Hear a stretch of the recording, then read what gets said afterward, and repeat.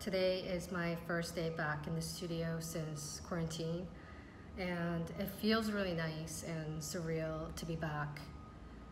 Um, the last few weeks have been really rough, witnessing the systemic oppression and heartaches that black communities in this country have been going through for a really long time. Um, but today I do feel more hopeful and motivated to be here after witnessing and being part of this beautiful uprising that is happening currently. And um, I think it's definitely made me think more about you know why I make the work I make and it's actually convicted me to keep pushing forward the conversations and questions I have about systems of language and legibility. Um, so yeah, I feel really motivated to come back to the studio and um, to be present.